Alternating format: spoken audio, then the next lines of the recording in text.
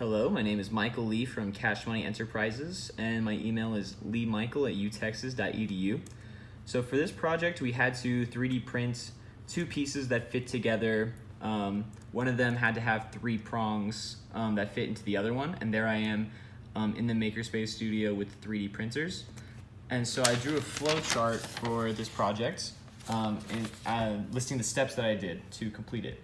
So the first thing I did was download and install the appropriate software. Um, this took me about an hour. I used Tinkercad, the free browser one, to make the designs, and then I downloaded, installed, and made an account for Craftware to convert the STL files to G-code files so I could actually print the design. Um, then I spent about 30 minutes making all the designs total because Tinkercad is pretty user-friendly. Um, and I made three designs total. Then the first question you have to ask yourself is, is your design two pieces? Um, and if it's not, obviously you have to go back and start over because that's kind of the um, major point of this project. But if it is two pieces, you have to ask yourself, do these two pieces fit the, the uh, parameters, the constraints, um, which is two inches by two inches by uh, 0.375 inches. And if it does, you can print the design, and if not, you go back to the drawing board. Printing the design took me about two hours in total. First two designs took about 40 minutes, and the last one took about 40 minutes. So an hour and a half to 30 minutes, I mean, um, an hour and a half to two hours. Um, and then you have to ask yourself, do these pieces fit? And if they don't, if you don't like your print, then go back to the beginning. Maybe try printing it again with the same design idea, or just try holding a new one altogether. But if you do like the way your pieces fit, then create a report and company name. Um, I spent about an hour so far um, gathering the materials for this report and um, rehearsing, and then turn in your report and the prototype, and then end. So um, my first design, here it is, um, was some dollar bills because I'm the treasurer of an organization. And so um, here actually is my first design here.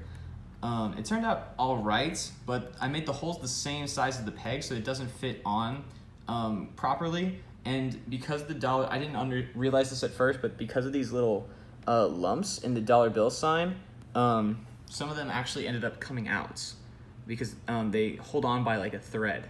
So I didn't like the way that turned out. So I tried something simpler for my second design, which was this, which is just a circle with circular pegs and the holes were a little bit larger than the pegs. But unfortunately, um, this design for some reason clogged the machine a couple times. I tried two different machines and both times they got clogged. And I think it's because of the circular motion the machine had to make to try to print out this design.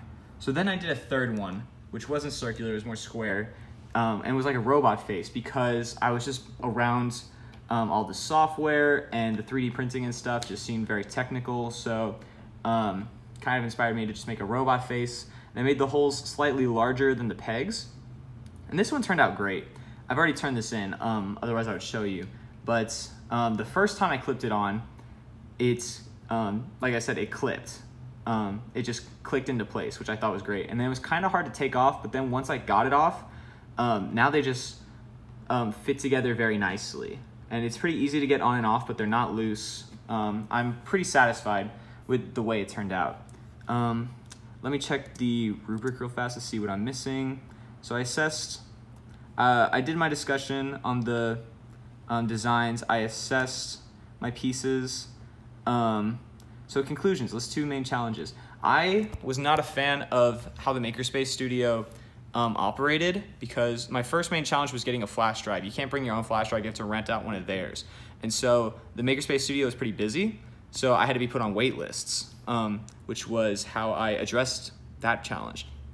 The second challenge was the time constraints. They're only open 12 to 5 um, Monday through Friday, and that's when I have a lot of my classes. So how I addressed that issue was just going in between classes, but it was it was hard because also the prints took some time, so it was um, hard to get in there, get a flash drive, get the print done before my next class started or before they closed. Um, but I worked around those constraints, and I ended up um, pretty happy with how um, it all worked out. And this actually relates to systems thinking because you have to consider all of about how these things actually relate to your final product. I, I wouldn't think that the hours of operation of this building would affect what I'm able to do with my work. I, my work relies on um, other people and um, the machine's ability to input my design, which is why um, some of them didn't turn out that, um, that great. So it really goes to show you the interdependencies of the system.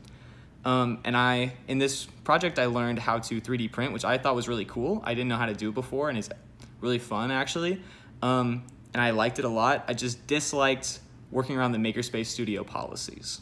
Thank you.